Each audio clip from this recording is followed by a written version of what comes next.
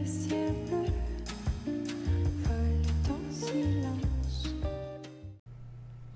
little things, ladies. It's the little things. Sometimes it's not really about making monumental changes in our style. It's about making small tweaks and little updates that can help us look and feel more modern, fresher, more in style, more with it, all of the things. So, welcome to my channel. If you're new here, my name is Nada. I'm a personal stylist. I'm your fashion friend here on YouTube, and I am the founder of the Ageless Style program where I have cheered over 5,000 women on to confident everyday style. So, welcome so happy that you're here. By the end of this video, you're to have 10 little tweaks that you can make to your wardrobe that are to help you elevate your everyday outfits and help you look modern, fresher, more like we know what's going on in style right now, right? Okay, so I'm excited to get into this topic. This can be this can be a little controversial, but I know we're all on the same page and really our goal is to to just look better and to make it simple. And that's what I'm here for. If you are interested in, in diving into your closet with me in a small community and just want that kind of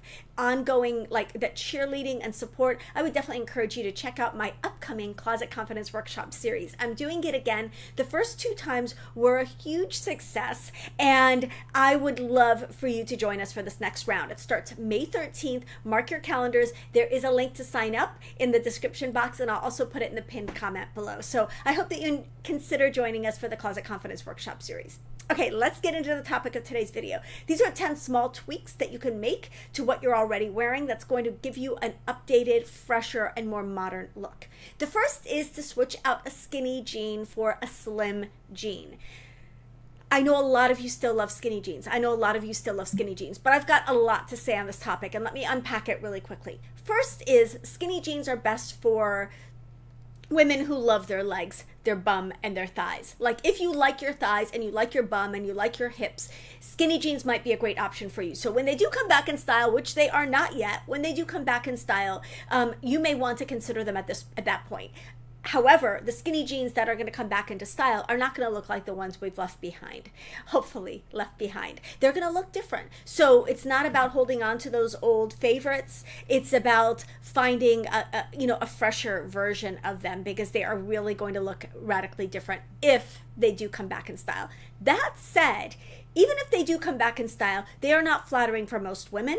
Right now, they are absolutely not what's happening in style, and especially a jegging style where it hugs every, you know, and you've got those horizontal lines all the way up, and it's the stretchy fabric, and it's basically leggings masquerading as jeans. Those are not in style. They have not been in style in a very long time, and they are definitely not coming back into style. So, we want to switch out the really skinny jeans and the jeggings, and we want to replace them with a slim jean. Now, this can be a cigarette style jean, it can be a slim straight jean, but this is your new skinny jean because it has the sleekness and the um, the versatility of a skinny jean, but it looks so much more modern. And the key here is that you can't have the calf and the ankle like cinched all the way down. You do not want these jeans to to like hug your calf and ankle. You want room between the denim and your leg, uh, especially on the lower half of these jeans. So that's really one of the key differentiators between a, a slim and a skinny. Um, but you're really looking for a streamlined jean that that is tailored to your body but that doesn't cling and doesn't hug. I say this about everything truly. The most flattering silhouette in anything is not oversized and it's not skin tight. It's that tailored, streamlined uh, place in the middle. That's going to be flattering for every woman, every age, every sing- every body type, every single time. So definitely consider a slim straight or a, a slim jean style instead of a skinny. It's an easy update that has the same effect and the same ease of a skinny, but with a much more modern look.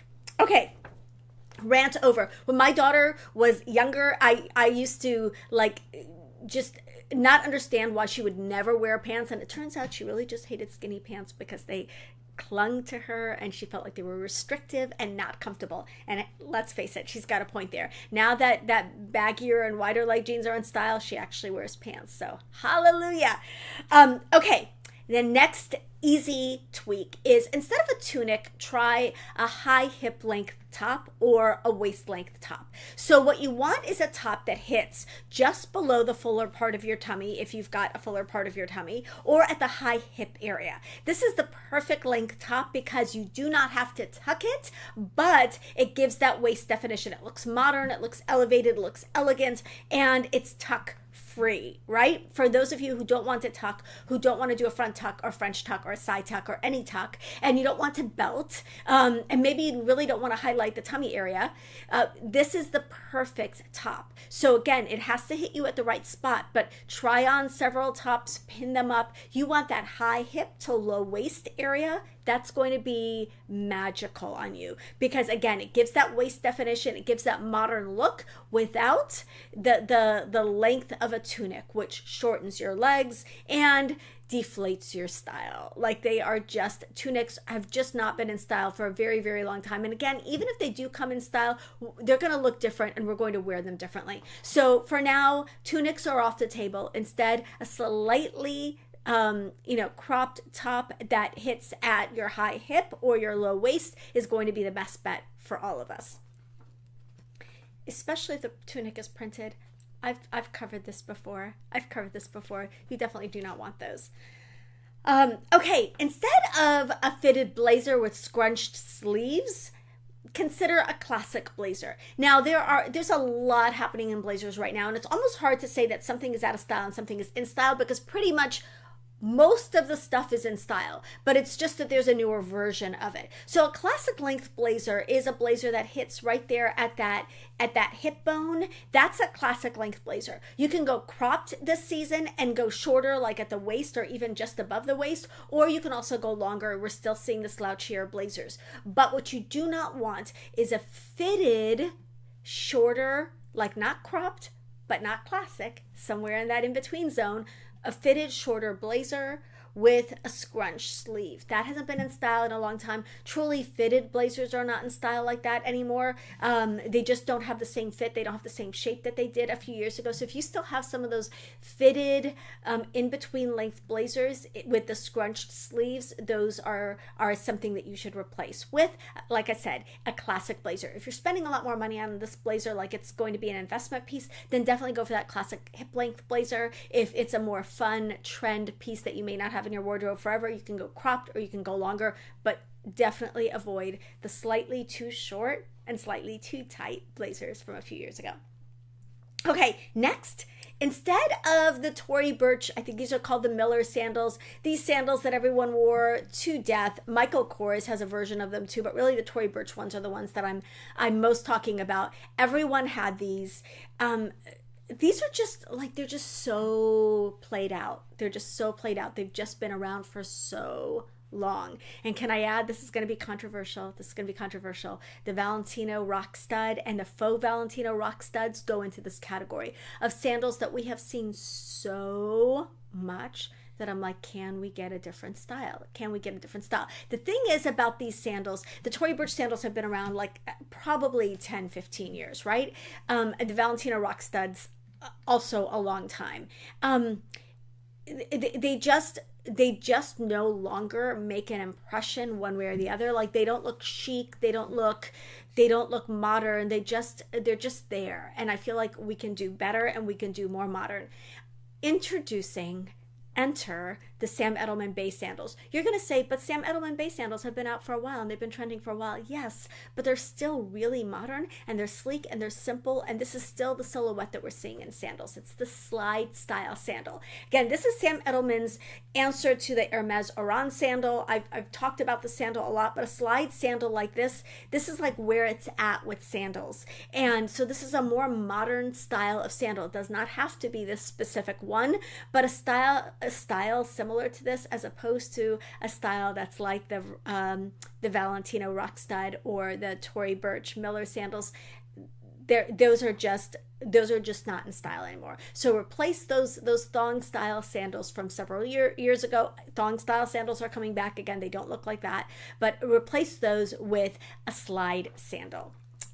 They will go with everything. It's like the go-to shoe of summer.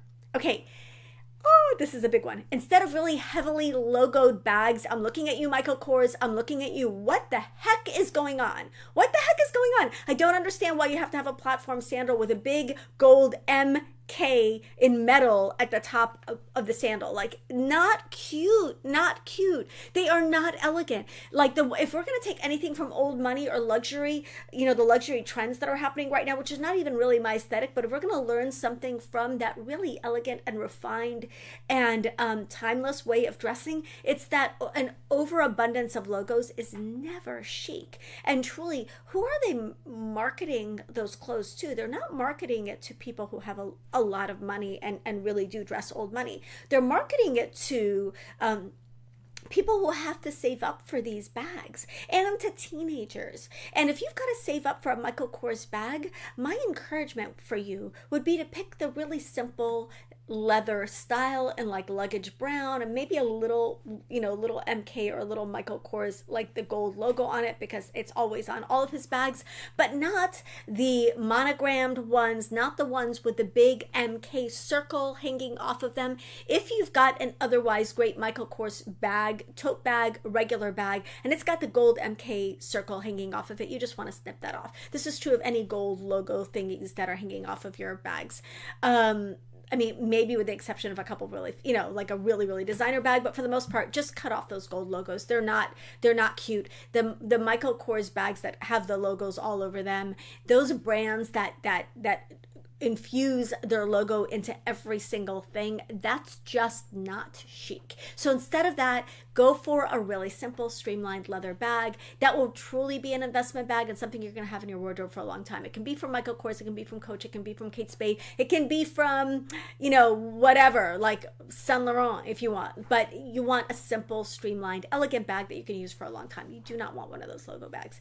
I promise you. I'm saying this as as your friend. Okay, also, along the lines of bags, instead of patterned quilted bags, and I know so many of you, so many of you, I've heard from so many of you, I have a million Vera Bradley patterned quilted bags. I get it. But the only people we see wear those bags are, are women who are very mature or very, very young. Like I know at least for a while it was a it was a thing for teens. Like my daughter's first bag was a Vera Bradley quilted bag in like pink and coral and you know, so that it was like a thing for like preteens. And then it's also a thing for really like really mature women. I just don't think these look modern. First of all, they're very limiting. The styles are very limiting. Like what are you going to wear that bag with? It doesn't go with any of your outfits. Um, they're just not that cute. They're just not that elegant. If you like the quilted bag style, may I suggest there are a lot of quilted bags that are really trendy right now. May I suggest a solid colored Vera Bradley quilted bag like black or navy or whatever? Like a solid colored bag in, in a quilted fabric will never go out of style. Um, there are also puffy bags and different types of trendy quilted bags that are in style. I will pop a couple of those up and I'll also share a couple of those in the catalog that I will link below this video with which is going to have all of my picks for the the the what to wears instead of the what not to wears, right? So skip the patterned quilted bags and go for a solid quilted bag instead. I promise you, your your style will thank me. Um, okay, instead of again on I'm on a bag kick. These bags, I don't know how. I don't know what to call them but they're they're they're kind of a wait but wait there's more bag there's so much going on they're they're like a faux croc right and then they've got like an ombre gradient color thing going on. And then they've got like ev- literally every bell and whistle. These are in keeping with the other two bags that I told you to the heavily logoed bags and the patterned bags. These are really busy bags and they detract from your style, but without making a statement. So it's different to have like a conversation piece bag or a fun bag or a funky bag. That's not what this bag does. It, it really pulls down your outfit. It makes you look older and they're out of style and they're just not they're just not chic. They're just not chic. If you like bags like this, bags from like brands like Brahmin or Patricia Nash, you want to stick with a simpler bag style from these brands. So something very simple, sleek, all one color, you know, solid, that's really going to be the way to go. Um, you're and, and and trust me when I tell you, you will have that bag if you you know if, if Brahmin is your investment bag, you will have that bag for a really long time if you pick the simplest version you can find. If you pick one with a ton going on, in about six months you're going to be like, why did I spend so much money on that bag, right? So keep it simple, you'll have it forever. Okay, so. I know this is getting this is getting testy.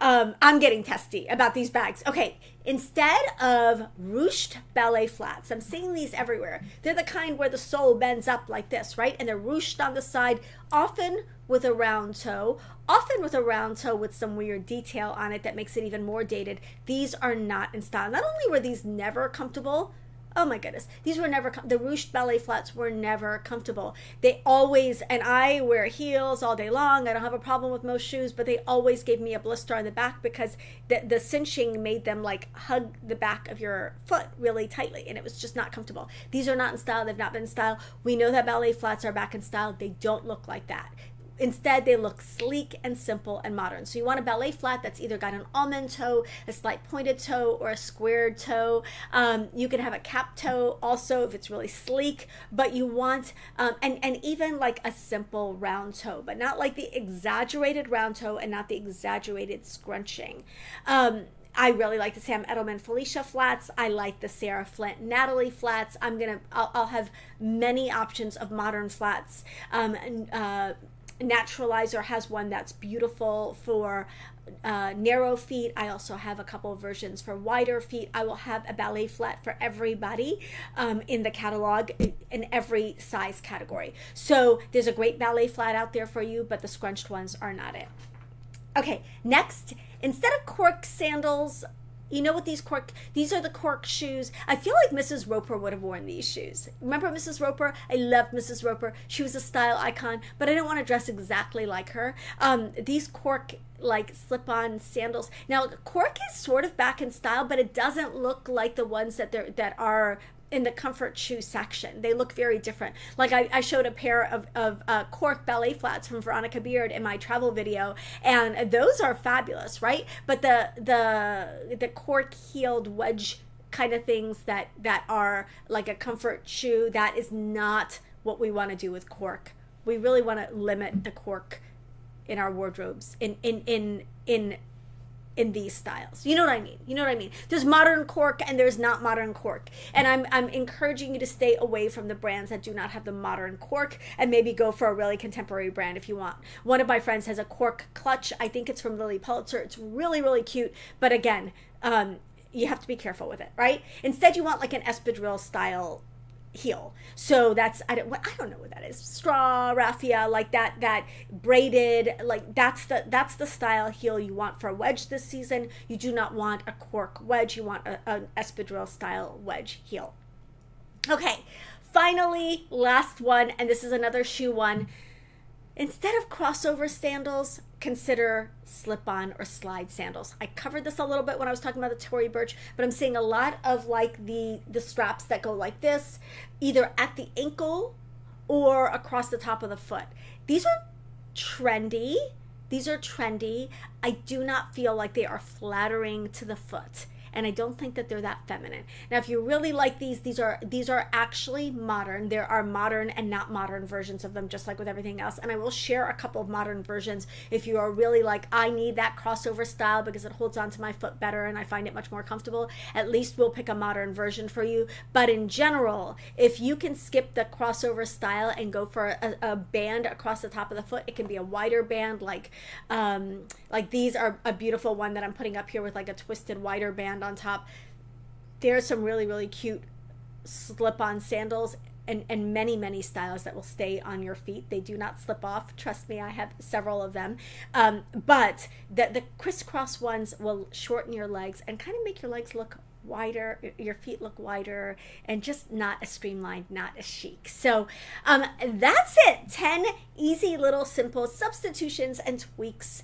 Um, some simpler than others that you can take that will instantly elevate your style. Now you know that you want to go into your accessories like section of your closet right now. You want to look at your bags and shoes and ask yourself, how can I update and what can I pick that I'm going to wear a ton this season? You want to bring items into your wardrobe that are going to be your new go-tos. And again, if you need help with that process, I would definitely encourage you to check out my Closet Confidence Workshop series. I will link it below. But you want that curated wardrobe where you are really reaching for the things that are in your closet and you want to wear them again and again and again. So I hope that you enjoyed this video. Let me know which of these um, not that's you're to have the hardest time getting rid of. Which of the items on my don't wear list are to be the hardest for you to let go of? Um, which are you struggling with? And which have you just gotten rid of a long time ago? I want to know all your thoughts in the comments below. Love you guys. Thank you so much for sticking to the end of this video. Don't forget to give this video a like if you liked it. Don't forget to subscribe so we can keep hanging out. And i will see you in the next video